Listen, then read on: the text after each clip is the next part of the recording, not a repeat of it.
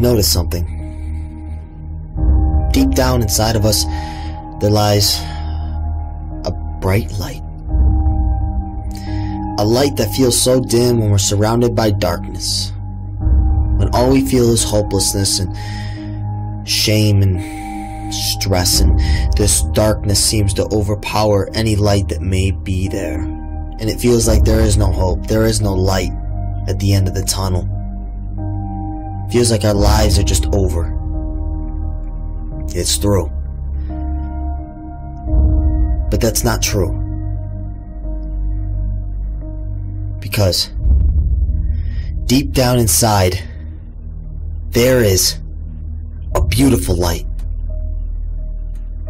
There is a beautiful light that will liberate your mind, that will liberate your free soul, that will take you to a new level in life.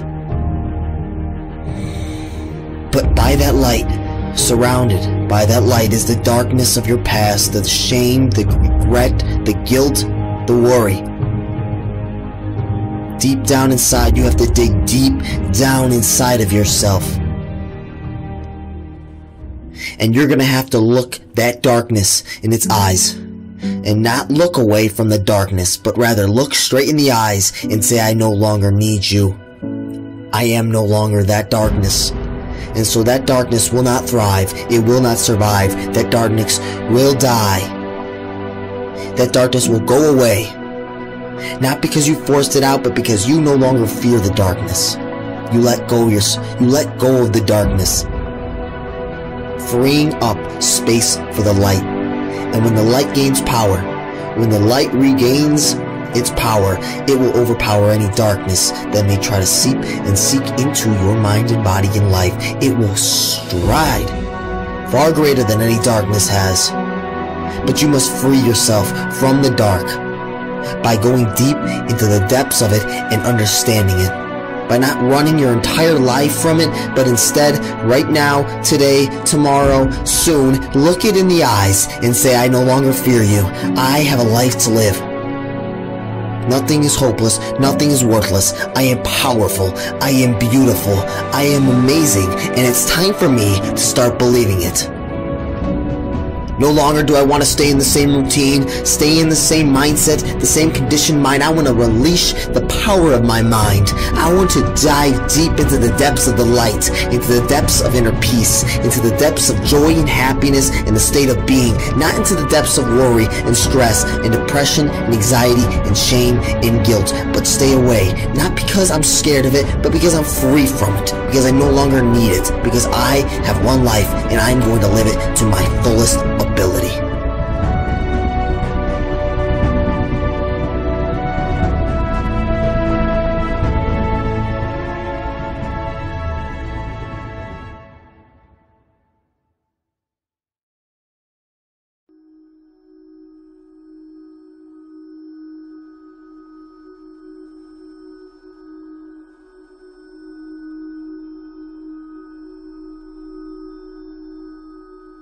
The thing about life is, it's not always easy, and you can't always win. At some point of your life, it hits you. It hits you really, really fucking hard. You know, it might be that your girlfriend breaks up with you, the person you love doesn't love you back, you get fired, you lose a family member. At some point of your life, you're gonna hit rock bottom. Just when you think it can't get any worse, it does get any worse, and you find yourself alone and you don't know what to do. Again, you're paralyzed. You're like, I don't know what to do. Why? And that why can really, really destroy you. Once you start asking yourself, why me? Why not the others? Why me? I'm actually a good person. I never did something significantly bad. Why the hell did it hit me? But that why is a very dangerous why to ask because that's life. Life is unfair. Life is tough. To get back up and put yourself out there again. To open the wound again and say, you know, here I am. Take it. Take it all. Kill me. Let it kill you. And arise from that again, stronger, better, smarter, ready to grasp that new opportunity. The world is full of great opportunities, but only for those who get back up. Wear your scars with pride because life is going to leave its scars eventually on you. It's on us to make sure that those scars are worth something. It's on us to make sure those scars remind us of experiences. And those experiences are the things that create life.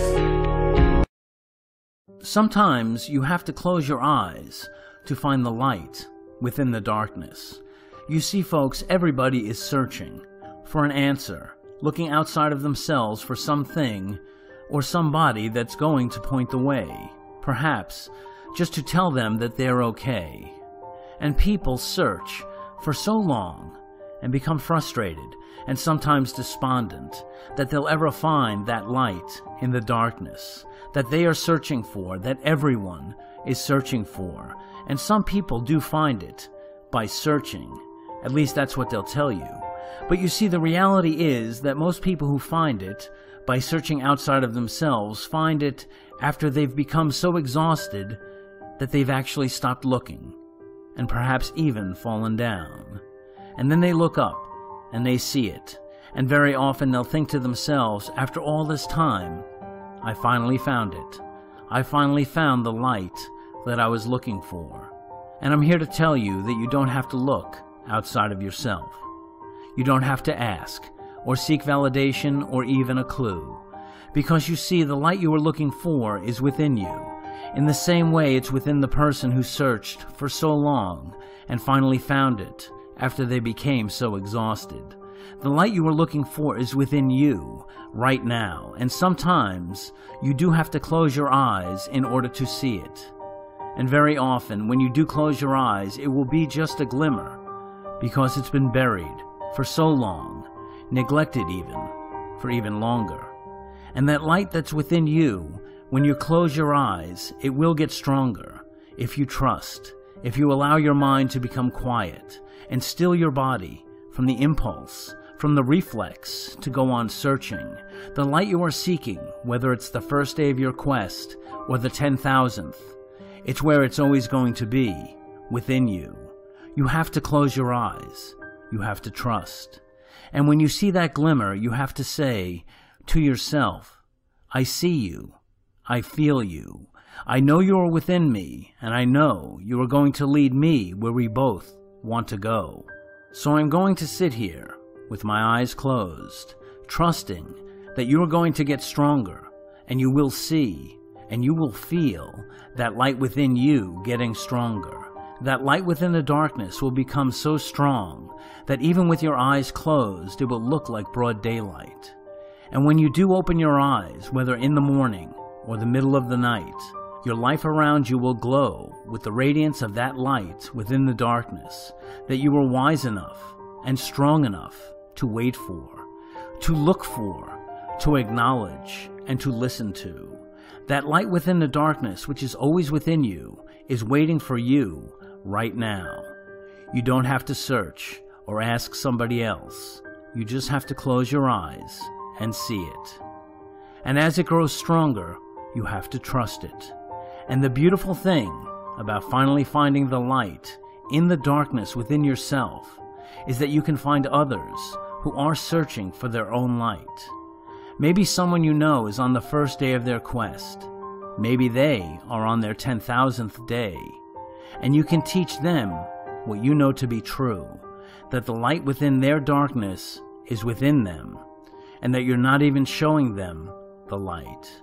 All you're doing is telling them to close their eyes and listen, look, and trust until that light within the darkness becomes so bright that in their own mind it glows, so that when they open their eyes, having found the light within their darkness, their world around them will glow with that same radiance you are experiencing.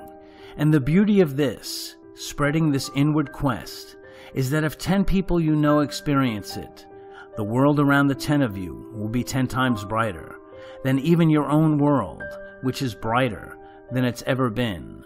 And if those ten teach a hundred, and those hundred teach a thousand, we will indeed experience a new dawn, and it may not be very dramatic.